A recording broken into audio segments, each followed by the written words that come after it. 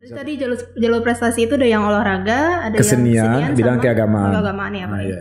Keagamaan ini boleh siapa saja gitu kan, asal dia juara minimal juara tiga untuk Hmm. tingkat provinsi. Provinsi. Nah, dan di samping itu juga ada di bidang penalaran. Mm-mm. Nah, Hafiz ini kan masuknya ke bidang penalaran. Iya. Jadi penalaran termasuk hafalan. Jadi hafalan kalau misalnya ada yang hafal kitab eh, agama, agama lain ya, misalnya. silahkan. Oh, Nah, gitu. eh, para warga negara luar ya yang berminat kuliah di Yunan.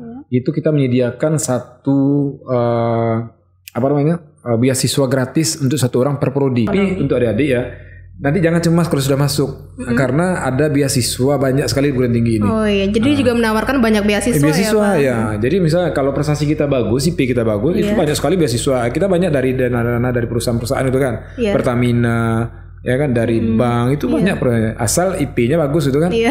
Jadi artinya yang susah itu kan masuk ini. Iya. Kita udah kuliah, nah, insya Allah lah kalau kita ada niat, ikhtiar yang kuat, Iya. pasti ada aja yang membantu kita.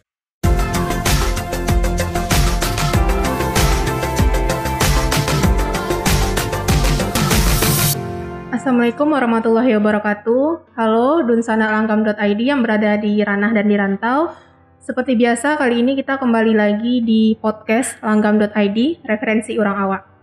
Nah, kali ini bersama saya, pemandu acara atau hostnya Ella, dan di sini kita tidak akan bincang-bincang sendiri, kita akan ditemani oleh narasumber yang kebetulan hari ini juga sudah sampai di studio langgam.id.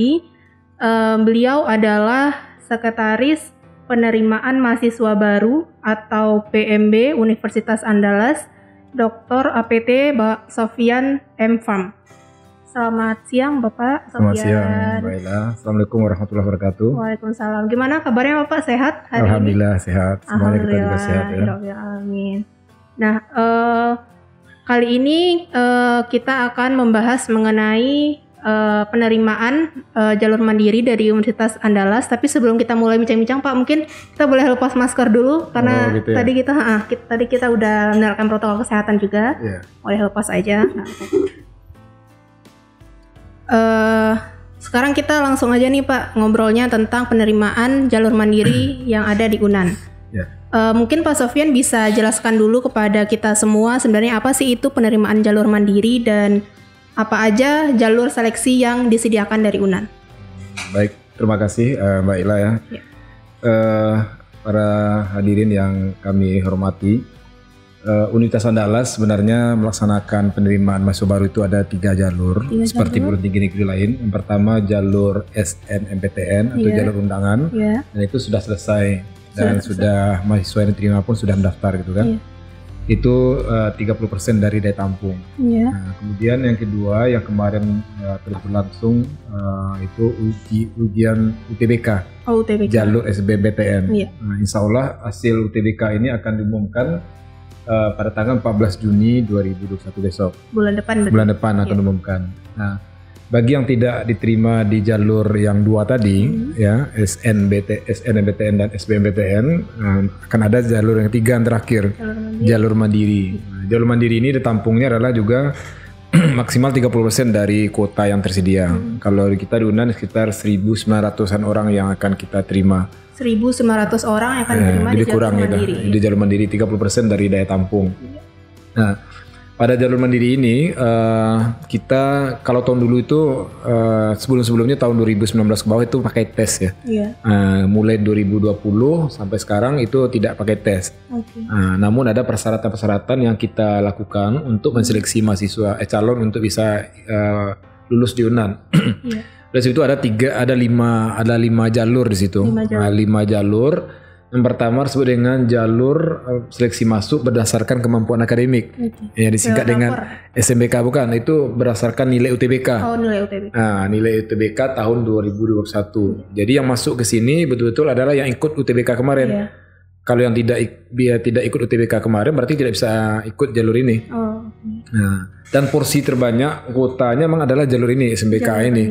Ya sekitar 70 sampai 75 persen gitu kan. Nah, itu yang eh, jalur yang pertama SMBKA nah, berdasarkan nilai UTBK. yang kedua jalur namanya jalur S, uh, seleksi mandiri berdasarkan prestasi unggul Prestasi unggul. yang kita singkat dengan SMBPU. Nah, jadi anak-anak yang memiliki prestasi di bidang olahraga, seni dan keagamaan termasuk hafiz Quran uh, bisa masuk melalui jalur ini dan ini tidak harus pernah ikut UTBK atau tidak. Oh. Nah, yang penting tamatan tiga tahun terakhir paling lama. Jadi 2019, 2020 dan lulusan terbaru 2021 bisa ikut. Hanya uh, mengupload uh, rapor saja sejak semester 1 sampai semester 6 tambah dengan prestasi dia. Iya. Nah, prestasi itu minimal harus juara tiga di tingkat provinsi. Oh. Nah, juara tiga tingkat provinsi, apalagi tingkat nasional dan internasional. Itu prioritasnya. Dan khusus hafiz Quran minimal hafalannya 10 juz. 10 juz. Nah, 10 juz ini yang sangat menarik yang kemarin juga banyak uh, jadi bahan Perbincangan. perbincangan ya, jadi viral juga kan. Iya. Nah, itu kita ada 10 minimal 10 juz. Iya. Nah, ketiga jalurnya adalah jalur uh, berdasarkan kerjasama namanya SMBK. Jadi masyarakat yang uh, memiliki ekonomi lemah tapi memiliki kemampuan akademik yang baik, ya kan, itu bisa uh, minta bantuan dari melalui pemerintah daerah masing-masing. Jadi biayanya itu dibantu full oleh pemerintah daerah. Jadi pemerintah daerah memiliki kerjasama dengan UNAN. uh, nanti akan uh, merekrut putra putri terbaiknya, Iya. ya kan? Nanti itu yang akan uh, mendaftar ke UNAN. Jadi rekrut uh, berdasarkan persyaratan kemampuan ekonomi itu silahkan dari pemerintah daerahnya. Kemudian uh, berdasarkan uh, kemampuan akademiknya nanti UNAN yang menseleksi mana yang di antara yang diusulkan itu uh, Yang bisa lolos lolos, gitu ya. Artinya itu uh, biaya itu harus ada dukungan jaminan dukungan dari pemerintah daerahnya. Nah, itu yang kerjasama. Yang keempat itu adalah untuk yang adik-adik kita yang berkebutuhan khusus atau penyandang disabilitas. Iya. Yang kita singkat dengan SMPD. Nah, jadi seleksi masuk, seleksi mandiri berdasarkan eh, peminat yang berasal dari penyandang disabilitas.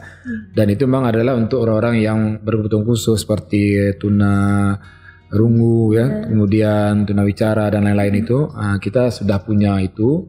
Dan Alhamdulillah juga sebagai bentuk apresiasi UNAN terhadap keseriusan UNAN untuk berkomitmen untuk membantu para uh, penyandang disabilitas ini, uh, kita sudah ada unit layanannya. Oh, sudah Nah, ada unit khusus itu kan seperti KKN ada unit KKN. Oh, Nah, disabilitas ini juga sudah ada unit layanan disabilitas. namanya apa? Pak? Unit ULD, unit layanan disabilitas. Oh, Nah, unit layanan disabilitas ini nanti yang akan uh, memfasilitasi uh, para adik-adik yang uh, berminat yang berasal dari disabilitas ini yang berminat kuliah di UNAN nanti akan dinilai kelayakan secara akademisnya. Memang akademis memang perlu juga kita apakan kan dan juga kesesuaian dengan prodi yang yang dia pilih gitu kan. Nah, unit layan ini adalah yang bertanggung jawab. Dan terakhir adalah untuk uh, warga negara yang di luar warga negara Indonesia. Nah, itu namanya seleksi mandiri berdasarkan untuk mahasiswa internasional. oh oke. Nah, jadi uh, para warga negara luar ya yang berminat kuliah di UNAN itu kita menyediakan satu uh, apa namanya uh, beasiswa gratis untuk satu orang per prodi. Kita ada 48 prodi Mbak Ella ya. Jadi kalau ada yang dari luar itu satu gratis. Uang apanya gratis semuanya, uang hidupnya juga ada. Oh, Kalau nggak salah biaya hidupnya dikasih oleh UNAN sekitar 2 juta rupiah per bulan. Wah, enak juga ya Pak ya untuk menarik amin uh, ininya nih untuk masuk ke UNAN ya kan. Nah, itu tersedia untuk itu. Nah, jadi itu namanya jalur internasional atau kan ada juga di pondok pesantren kan ada juga orang luar negeri yang anaknya disekolahkan di Indonesia gitu kan. Nah, boleh juga kita seperti di Gontor atau di beberapa dulu Arisalah ada juga itu kan. Iya. Ada orang luar yang waktu di SMP di sana eh, SMA atau di tingkat aliyah gitu kan. Iya. Nanti akan kita jaring itu juga itu untuk kita ajak masuk melalui jalur SM eh, MI ini. Oh, Jadi ada lima jalur itu. ada lima jalur berarti tadi ya Iya. Pak ya. Nah, eh, saya penasaran nih Pak soal jalur eh, dari yang disabilitas. Hmm. Nah, itu kan nanti dari pihak UNAN-nya juga bakal ada eh, seleksi akademis Iya, ya tadi yang Pak ya. bilang. Hmm. Eh, nanti untuk pelaksanaan ujian eh pelaksanaan kuliahnya sendiri nih Pak. Nanti Iya. sistemnya gimana tuh Pak? Apakah ada dibedakan atau nanti ada khusus? Nah ini yang sekarang lagi digodok. Kita Iya. kan pertama tuh sesuaikan dengan eh, SDM kita ya. Ini Iya. karena kita baru memulai. Iya. Tentu artinya kita menyiapkan dulu artinya prodi-prodi yang sudah siap. Iya. Nah kita kemarin sudah menyebarkan angket kepada semua fakultas dan Mm-hmm. itu ada beberapa prodi yang sudah siap untuk menerima. Memang kalau kita lihat memang belum semuanya bisa kita akomodir ya, tapi bertahap kita akan tentu akan mengakomodir semuanya. Apalagi untuk yang berkebutuhan ini memang betul-betul harus kita apakan ya, harus sukarelawannya ya, pembimbingnya, kemudian yang membantu dalam bahasa isyarat segala macam itu kan. Ya insya Allah ke depan itu akan akan kita tata sedemikian rupa dengan adanya ULD tadi, unit layanan disabilitas tadi. Tadi uh, prodinya yang kira-kira sekiranya udah bisa nih untuk menerima teman-teman Iya. disabilitas itu apa aja pak? Untuk pastinya saya eh, tidak apa ya, cuma ada di websitenya. Oh kita bisa lihat di Ah, website ya iya. ya? Cuma kemarin itu ada masukan, kita tetap saja eh, apa namanya mereka silahkan dulu daftar, Hmm. ya kan. Iya. Nanti kan ada ada eh, wawancara dengan eh, eh, tim psikolognya. Tim, iya. Nah, tim psikolog ini nanti akan mengarahkan kira-kira ini cocoknya di mana gitu kan. Oh, gitu. Nah, Heeh. nanti akan ada tim itu. Oke. Nah untuk saat ini nih pak kan eh, kita dalam masih dalam masa pandemi nih Ya. pandemi covid. Nanti sistem untuk tes atau seleksinya itu eh, gimana pak? Apakah eh, offline atau online? Ini kan kita tanpa tes ini, hanya nilai UTBK dan nilai rapor saja. Mm-mm. ya kan tanpa Iya. tes jadi dua belakang dua tahun belakang ini kita tanpa tes jadi Oke. tidak ada pakai ujian yang ada ujian itu satunya yang jalur hafiz tadi Oh jalur hafiz. nah, ada uji hafalan gitu kan Uji nah, uji hafalan kita dilakukan secara online Oh online nanti di Ah. kampus Unan ya pak ya? ya jadi mereka silahkan di rumah masing-masing ada ada jaringan tentunya kan nanti kan ada uji online oleh para uh, tim yang kita telah siapkan Iya. hafiz Quran juga sehingga uh, tidak tidak ada offline gitu ya semuanya online Iya. Hmm. Oh gitu. Berarti semuanya untuk saat ini pandemi kita Ya, online dulu ya pak ya? semuanya. Mulai dari registrasi ya Hmm. semuanya online semuanya. Oke. Hmm. Nah untuk program jalur hafiz Quran nih pak, saya penasaran. eh, kan pertama kali ya kalau nggak salah tahun ini Unan. Enggak, eh, kalau Fiskura udah udah sejak dari awal sudah. Oh, Hmm. oh gitu. Nah kalau untuk eh, penasaran soal apa sih alasan Unan membuka jalur penerimaan lewat hafiz Quran? Soalnya kan seperti yang kita tahu Unan sendiri kan sebenarnya adalah kampus umum ya untuk Iya. ada yang dari agama lain seperti Iya. itu. Itu Gimana? Nah, kemarin maaf ini kan eh, kemarin sempat viral masalah Iya. ini ya. Ah. Sebenarnya eh, Unan eh, kampus lain sebenarnya udah lebih duluan kan seperti eh, Brawijaya Malang Hmm. ya kan universitas eh, luar gitu kan sudah eh, udah udah hal biasa ini Iya. kan. Kita sebenarnya dulu juga udah lakukan. Dulu malah syarat minimalnya 20 juz. 20 juz sekarang Nah, 10. sekarang 10 juz. Jadi sebenarnya jalur prestasi unggul itu ada tiga bidang. Iya. Nah, tiga pertama eh, olah, eh, olahraga, Iya. yang kedua eh, kesenian, Mm-mm. ketiga berprestasi di bidang keagamaan. Agama. Nah, keagamaan ini bukan hanya agama Islam ya. Oh, Nah, cuma kan artinya keagamaan ini boleh siapa saja gitu kan, asal dia juara minimal juara tiga untuk tingkat provinsi. provinsi. Nah, dan di samping itu juga ada di bidang penalaran. Nah, Hafiz ini kan masuknya ke bidang penalaran. Iya. Jadi penalaran termasuk hafalan. Jadi hafalan kalau misalnya ada yang hafal kitab eh, agama, agama lain eh, silahkan. Oh, Nah, gitu. nah, ini kebetulan ini kan kita berikan contoh. Jadi untuk hafalan eh, seperti hafalan Quran Iya. ya.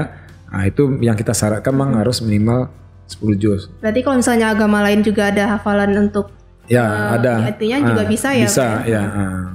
Oke. Nah, kalau untuk berkaca dari tahun sebelumnya nih, Pak, kira-kira persaingan untuk masuk Unan itu berapa persen sih? Satu banding berapa kayak gitu, Oh. Pak? Buat teman-teman adik-adik juga yang pengen itu Iya. ada gambaran kan buat masuk Ah. Unan. Makanya ini emang untuk eh, untuk memilih program studi yang Iya. di mana bisa kita ada kemungkinan untuk bisa lewat itu emang harus ada triknya gitu kan. Iya. Pertama lihat dulu angka keketatannya. Iya. Nah, angka keketatan itu ada di kita sudah kita buat di websitenya PMB Unan. Iya. Artinya prodi mana eh, yang paling tinggi keketatannya gitu kan, mana yang sedang, mana rendah. Iya. Ada semuanya gitu kan. Contoh misalnya untuk prodi di bidang saintek itu yang paling ketat itu adalah untuk mandiri ini eh, kedokteran gigi. Kedokteran gigi. Nah, sama bidang eh, eh, Fakultas Tekno- Teknologi Informasi. Hmm, gitu. Itu Ah. persaingannya berapa banding berapa tuh? Eh, saya lupa pasti, tapi itu angka keketaatan paling tinggi gitu ya. Oh. Nah, kalau yang sosialnya yang tertinggi itu ilmu komunikasi. Ilmu komunikasi ya. ya. Artinya mungkin di zaman pandemi ini orang banyak pakai perlu pakai sistem Ah, informasi iya. ya, digital gitu kan. Iya. Ah, artinya angka ketatan itu menjadi harusnya menjadi referensi bagi Referensi. para calon Iya. sehingga dia tuh sebenarnya cocoknya di mana bersaingnya gitu kan. Jangan asal ambil gitu kan. Iya. Takutnya bersaing di pada satu prodi ternyata ah, peluang terimanya Iya, sedikit gitu iya, kan. benar. Nah, padahal banyak prodi kita ya di Unan ini kan jumlahnya 48 kan. Iya. Nah, jadi sesuaikanlah dengan eh, prodi eh, mana mak- bakat eh, kita sebenarnya di rapor kan tergambar dari rapornya gitu kan Iya. atau nilai UTBK-nya. Yang kedua lihat juga dari eh, biayanya. Oh gitu. Jangan kita ambil ternyata tinggi, yang tinggi, ternyata biayanya ketika Biayanya. terima nggak nggak bisa mampu lagi Iya. nggak daftar gitu kan. Sayang sekali ya Sayang Pak sekali karena yang namanya mandiri ini ada namanya uang PI, ya. Mm-mm. uang pengembang institusi, Iya. dan ada uh, uang uh, UKT-nya, uang SPP-nya itu UKT level tertinggi. Kan Oh, UKT itu kan ada level 1 Iya, sampai level mm. 7, Mm-mm. ya kan? Kalau yang lulusan SMPTN sama SBMPTN, UKT ini berdasarkan kemampuan ekonomi kan, Iya. ekonomi orang tua, ada sistem yang menentukan. Jadi kalau mandiri ini UKT-nya itu level level 7 semuanya. Oh gitu. Nah, jadi tidak bisa ditawar lagi dan uang PI-nya ada. Nah, Iya. khusus untuk jalur yang SMBPU prestasi unggul, Iya. mereka tidak bayar uh, uang PI, gratis Pak. gratis uang PI. Nah, ini nih tantangan nih, artinya menarik keistimewaan Menarik, gitu kan. iya. Gratis uang PI dan uang SPP-nya pun itu tergantung ekonomi orang tuanya. Oh. Nah, jadi artinya jalur SMBPU ini mirip dengan jalur SBMPTN. SBMPTN ya. Ah, apanya uang perkuliahannya gitu kan. Mereka tidak pakai uang PI dan uang UKT-nya atau SPP per semester itu tergantung kepada kemampuan ekonomi. Terus Bisa tadi jalur jalur prestasi itu ada yang olahraga, ada kesenian, yang bidang sama keagamaan. keagamaan ya Pak. Nah, ya? iya. Oke. Nah, Hmm. eh, selanjutnya untuk kalau untuk tadi Pak Bapak bilang kita eh, Unan juga ada jalur kerjasama dengan Ya, jasmani Pemda, Pemda daerah ya. Iya, itu eh, sistem untuk mengurus atau bagi adik-adik yang mau ikut jalur itu gimana sih Pak? Atau mungkin ada dengan kerjasama dengan perusahaan lain juga? Nah, perusahaan juga boleh. Artinya gini, eh, jadi bisa dengan pemerintahan atau non pemerintahan gitu kan. Oke. Nah, jadi kalau pemerintahan mana yang sama dengan Unan, tentu artinya adik-adik ini mungkin eh, langsung saja bertanya kepada pemerintah daerahnya gitu kan. Ah, pemerintah daerahnya punya alokasi nggak karena masalah dana nih kan. Iya. Alokasi dana nggak untuk mereka uh, mensupport. Saya kira pastilah ada kan dana pengembang SDM di pemerintah Iya. daerahnya. Atau di, mereka juga ada kenal dengan CSR-nya perusahaan atau Iya. apa gitu kan. Yang yang penting ada surat jaminan dari instansi itu Iya. bahwasanya uang perkuliahan dia selama pendidikan itu dis- disupport sampai tamat. Oke. Nah, itu akan kita fasilitasi. Fasilitas itu Hmm, ya Pak. iya. Kalau untuk eh, kerjasama dengan perusahaan-perusahaan atau non Pemda tadi Pak, Iya. eh, ada apa? Ada di mana aja sih Pak? Kita tidak membatasi. Yang penting ada ada perusahaan apa saja, asal mereka mau memberi ada surat uh, membuat uh, perjanjian kerjasama dengan Unan, Iya. kemudian uh, tambah satu lagi surat dukungan bahwasanya mereka betul mendukung sampai uh, mahasiswa ini tamat gitu kan. Oh, gitu. Karena itu perlu bagi kita kan. Iya. Jangan nanti di tengah jalan ternyata berhenti Iya, misalnya untuk kan. perjanjian ya Pak ya. Ah, itu perjanjian. Jadi sekian lama misalnya lima tahun kalau ini kita sarankan. Iya. Rata-rata S1 ini kan lima tahun kan. Iya. Nah, sehingga lima tahun nah itu kita harapkan mereka full dibantu. Oke. Nah, untuk mengingatkan lagi nih Pak untuk adik-adik yang mau daftar di Unan, pembukaan untuk jalur mandiri itu tanggal berapa Pak? 7 7 Juni sampai 18 Juni. Sampai 18 Nah, Juni. Pengumuman hasilnya 9 Juli. 9 Juli ya Pak ya. Ya. Nah, Setelah itu baru registrasi, Registrasi ya, dan pembayaran daftar ulang, ya, ya. daftar ulang. Untuk eh, kotanya sendiri nih Pak, mungkin diperjelas lagi buat adik-adik Ya. kota yang di Unan. Nah, kota di Yunan, nah, kota bisa juga diakses sebenarnya lengkapnya. Misalnya prodi ini berapa kotanya. Ada di websitenya uh, PMB Yunan ya. Unan. Jadi kota itu ya, rata-rata adalah 30% dari kota yang tersedia. 30%. 30%. Misalnya farmasi misalnya yang saya tahu contoh farmasi, kebetulan saya dari farmasi Mbak ya. Iya. Daya tampungnya kan 150. Iya. Maka untuk mandiri itu 30% dari 150 itu 50 orang. 50 orang. Nah, rinci lebih lengkapnya ada nanti lihat di websitenya Websitenya uh, PMB Unan. Ya, pmb.unan.ac.id pmb.unan.asc.id. atau buat aja PMB Unan di Google gitu ya. Nanti udah Nah, keluar langsung ya keluar ya. itu. tinggal li- lihat saja, tinggal lengkap informasi di sana. Iya. Oke. Nah untuk terakhir nih Pak, eh, mungkin Bapak bisa kasih motivasi untuk adik-adik yang Ya. mau masuk ke Unan ada tips dan trik khusus nggak nih Pak? Ya, yang pertama itu adalah uh, pilihlah prodi yang sesuai dengan bakat gitu kan. Sesuai Jangan telah diterima ternyata nggak ngambil itu banyak itu. Iya. Bilang kan ada pilihan satu pilihan dua. Kadang-kadang mengambil pilihan kedua itu adalah pilihan asal-asalan aja gitu kan atau ikut teman-teman. Iya. Nah, ketika diterima pilihan dua nggak ngambil. Sayang gitu kan padahal kesempatan orang bisa masuk ke situ kan. Iya benar. Jadi pilihlah itu sesuai dengan kemampuan akademik kita dan Iya. minat kita juga. Makanya konsultasilah dengan orang tua, Atau guru BK. guru BK, itu perlu sekali iya. itu kan supaya dia tahu. Kemudian yang kedua uh, pilih juga sesuai dengan kemampuan ekonomi, gitu kan. iya. Nah, khusus yang uh, yang jalur di luar SMBPU Persi Unggul. tadi ya. Eh, di luar. Persi Unggul. Nah, pilih sesuai dengan kemampuan ekonomi karena sayang juga kalau sudah diterima tidak diambil oh ternyata tidak ada uang. Nggak sesuai Nah, dengan tapi untuk adik-adik ya nanti jangan cemas kalau sudah masuk karena ada beasiswa banyak sekali di perguruan tinggi ini. Oh iya, jadi juga menawarkan banyak beasiswa, Eh, beasiswa ya, Pak. ya, jadi misalnya kalau prestasi kita bagus, IP kita bagus, itu Iya. banyak sekali beasiswa. Kita banyak dari dana-dana dari perusahaan-perusahaan itu kan, Iya. Pertamina, ya kan dari bank itu banyak pro- asal IP-nya bagus itu kan. Iya. Jadi artinya yang susah itu kan masuk ini. Iya. Kita udah kuliah, nah, insya Allah lah kalau kita ada niat, ikhtiar yang kuat, Iya. pasti ada aja yang membantu kita kan. Oke. Nah, untuk mungkin ada pertanyaan. Ini karena kita lagi live juga Pak kebetulan di Instagram. jadi iya, bisa uh, dari baca Instagram, ah, bisa yang ada yang mau yang bertanya perlu langsung. diapakan menurut saya yang eh, kemampuan akademik tadi ya karena porsi yang ter- yang terbanyak kan di situ Iya, kan nah, SMBKA ini jadi memang syaratnya harus punya setelah ikut UTBK Iya, benar. nah, ikut UTBK 2021 kan kalau tidak ikut memang mau maaf memang tidak bisa Iya, kan tidak bisa. Nah, Syaratnya memang itu ya, Pak ya. syaratnya memang itu Oke. Hmm. sementara yang jalur yang lain itu memang pakai nilai rapor saja Makin darah. nah, nilai rapor Oh, ini ada pertanyaan nih, Pak.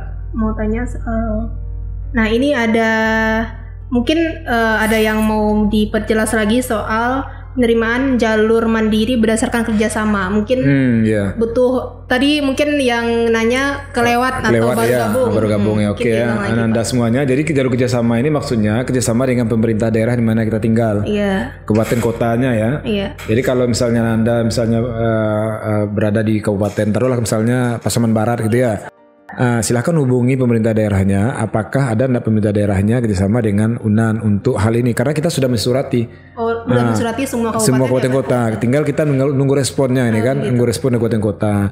Nah kalau misalnya kabupaten kotanya eh, punya apa eh, mau artinya untuk tahun ini mengalokasikan Iya. sebagian untuk putra putri terbaiknya, saya kira itu sangat bagus sekali gitu. Ini sekaligus kita imbau sekarang nih kan, Iya. masih banyak waktu nih sampai tanggal 18 Juni Iya, kan, 18 Juni. Nah, untuk bisa atau eh, Pemdanya mungkin karena sibuk tidak tahu informasi seperti ini kan karena mana tahu karena surat ini lama prosesnya kan. Ah, benar. Inisiatif saja Anda ini pergi tanya ke sana. Surat undang sudah masuk ke semua kabupaten kota gitu kan. Ya. Nah, tinggal di follow up saja oleh pemerintah daerahnya. Kita bersiap ini. Kita sifatnya kan pasti menerima Iya. eh, dari apa ya dari pemerintah daerahnya. Nah, eh, ini ada yang nanya lagi nih, Pak. Eh, bagaimana dengan nilai UTBK? Apakah bisa pakai nilai UTBK tahun lalu? Nah, tidak ya. Nah, kita sudah dari awal eh, mensyaratkan nilai UTBK yang dipakai 2021. Khusus 2021 ya. Jadi otomatis yang tidak ikut 2021 kemarin eh, mau mau untuk tahun ini nggak bisa gitu kan. Bisa ya. Nah, Berarti atau memang- ngambil jalur kerja, eh, kerjasama tadi Oh iya, dengan bisa. pemerintah daerah itu kan atau prestasi kalau dia punya Oke. karena prestasi itu wajib di-upload satu minimal sertifikat eh, yang menyatakan yang bersangkutan juara gitu ya. Minimal, juara Minimal tiga. Juara tiga di provinsi. provinsi. Iya. Nah, apalagi nasional kan? Iya, kalau nasional pasti makanya atlet-atlet ini saya kita imbau juga atlet-atlet daerah ya yang sering berlaga di kejuaraan-kejuaraan nasional kan banyak itu kan? Nah, ini kesempatan emas ini Iya. untuk bisa masuk ke Universitas Andalas ya kan? Nah, silahkan bergabung. Eh, Insya Allah kalau memang itu sesuai dengan kemampuan akademiknya kita lihat nanti Iya. eh, akan diterima eh, di UNAN. Jadi memang tetap eh, kemampuan akademik menjadi patokan juga walaupun dia misalnya juara nasional itu kan, tapi dia pilih kedokteran misalnya kan, padahal nilainya tidak mendukung. Ah, nanti akan kita arahkan, Oke. mungkin cocoknya di fakultas lain nah, sesuai dengan kemampuan akademiknya. Oh, berarti tetap dinilai dari akademiknya juga ya, Pak? Iya, nilai akademik tetap menjadi patokan utama. Ah, jangan ah, karena sertifikat juara juara satu renang misalnya kan, tingkat nasional. Pilih ternyata ke dokter ternyata nilainya tidak mendukung misalnya kan. Oh, iya. Ah, maka nanti akan kita arahkan, kita tawarkan ke fakultas lain ya kan. Iya. Kita memang butuh anak-anak seperti itu karena itu bagi kita itu akan membantu Unan juga untuk event-event yang Iya. tingkat nasional Unan atas nama Unan ya. juga. Ya, kan nanti akan ada lomba olahraga kan olahraga mahasiswa tingkat nasional. Apa lomba MTQ tingkat nasional ya kan. Nah, mereka ini yang kita bina nih. Oh, Nah, jadi apresiasi Unan sebenarnya untuk para yang telah mengharu- mengharumkan nama Sumatera Barat Iya. ya kan atau nama daerah masing-masing untuk bisa uh, kuliah di Universitas Andalas. Oke. Eh, ini ada pertanyaan lagi Pak. Eh, katanya bagaimana dengan peserta KIPK? Apakah bisa mengikuti jalur mandiri? Hmm. Kalau bisa, apakah registrasinya bayar juga? Oh KIP ya, kalau KIP ya betul. Kalau ka- kalau dia sudah dari awal sudah terdaftar sebagai KIPK, Hmm? eh, mereka memang wajib bayar dulu, Wajib bayar. Ah, bayar dulu registrasi itu kan seperti biasa gitu kan. Ah, karena nanti penerima KIP ini, KIP ini kan kartu Indonesia Pintar, Iya. KIP kuliah gitu kan. Heeh. Nah nanti eh, mereka yang KIP kuliah ini kalau dia diterima di UNAN lewat jalur mandiri gratis semuanya. Gratis. Ah, gratis ya, tidak ada bayar-bayar satupun kan kan. Nah, cuma kan uh, KIP kuliah ini kan perlu diverifikasi mbak. Iya. Nah, dilihat ke rumahnya segala Iya. macam. Makanya prosesnya dia lalui dulu normal. Oke. Jadi tak bayar dulu uang registrasi gitu kan.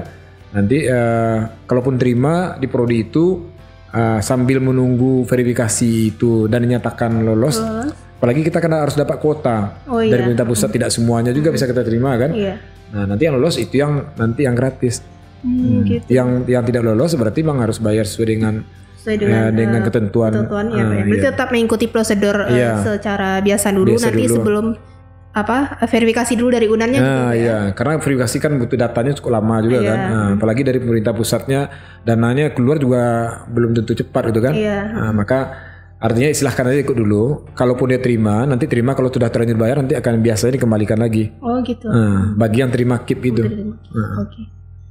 Eh, ini ada yang tanya soal sertifikat prestasi non akademik yang harus diupload apakah perlu legalisir dari sekolah? Ya, perlu. Perlu ya Pak ya? Nah, jadi semua yang kita upload baik itu nilai rapor itu wajib legalisir sekolah. Wajib legalisir. Nah, termasuk prestasi. Jadi dikopi dulu, kemudian minta legalisir sekolah. Kemudian itu yang diupload. Ambil satu yang tertinggi. Oh, Misalnya yang dia punya terbaik dua gitu. gitu, yang terbaik. Nah, jangan tiga aja yang kita boleh hanya satu yang diupload. Satu dari yang terbaik gitu yang ya. Pak? terbaik misalnya dia ada juara dua, juara tiga, ambilnya juara dua. Atau nasional dengan provinsi ambilnya nasional gitu kan. Oh iya.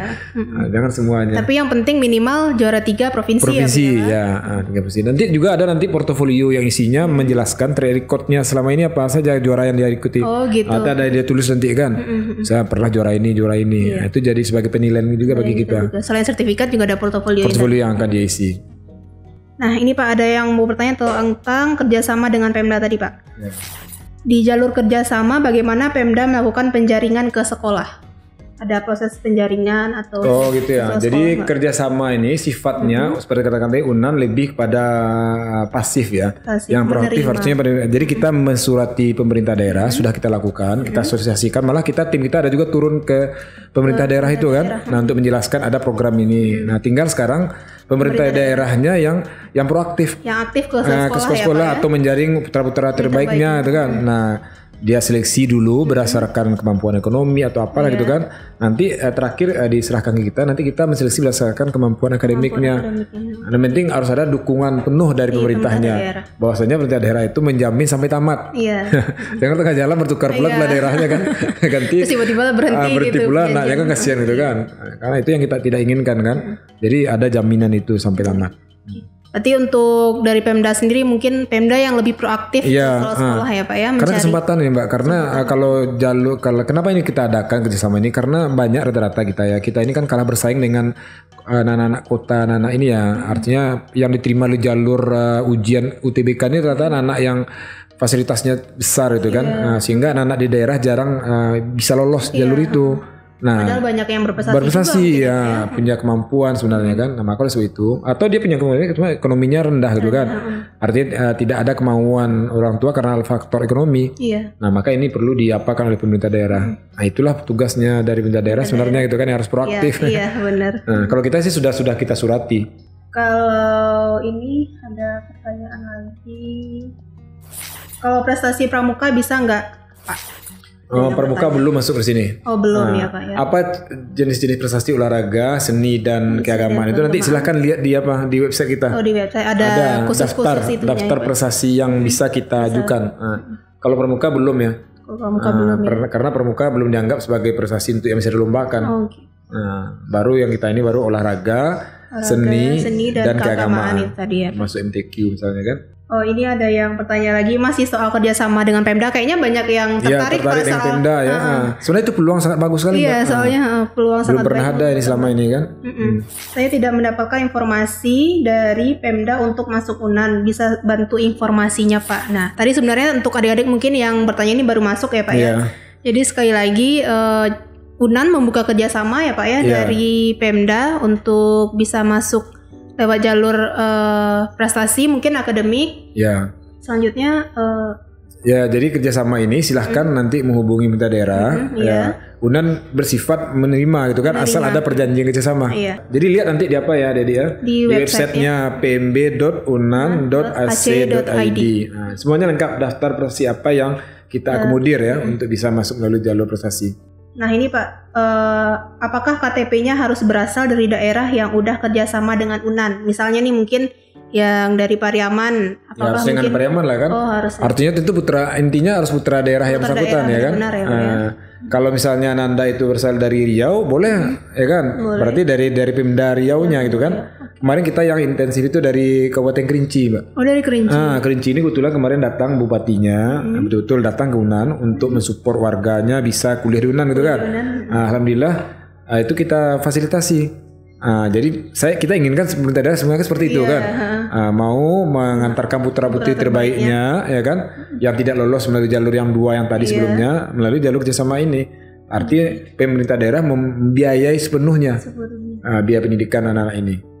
Ya. Kota Pariaman sebenarnya sudah pernah itu melakukan itu kan ah, dengan program dia satu keluarga satu sarjana itu mbak pernah dengar nggak? Oh iya iya. Ah, dibiayai saja. saka saja. dan dibiayai oleh pemerintahnya kan? Iya. Cuma kemarin kan baru sampai D3.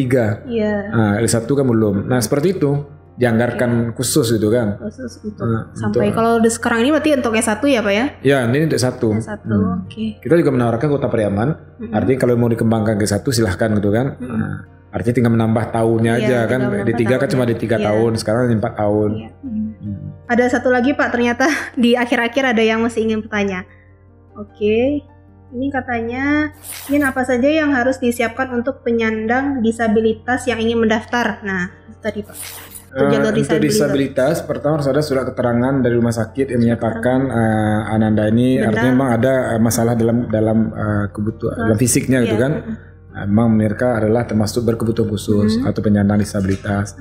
Yang kedua adalah eh, siapkan ini rapornya juga yang Siapkan akan diupload yang akademisnya dan terakhir kemudian siap-siap pula nanti ada wawancaranya. Oke.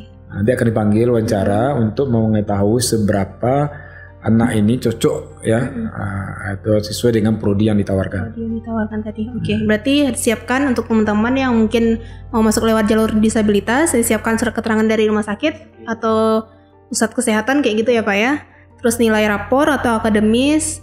Terus nanti dari pihak UNAN kita juga bakal ada proses Ya. penjaringan lah Ya, gitu ya. Pak. oleh eh, tim ULD tadi unit ULD, layanan ya. disabilitas. Oke, eh, sekian dulu Dunsana Langgam.id bincang-bincang kita hari ini. Terima kasih saya ucapkan untuk Pak Sofian yang telah Ya. bersedia hadir di studio kita pada hari ini yang meluangkan waktunya. Eh, baiklah, sekian dari saya. Terima kasih. Assalamualaikum warahmatullahi wabarakatuh.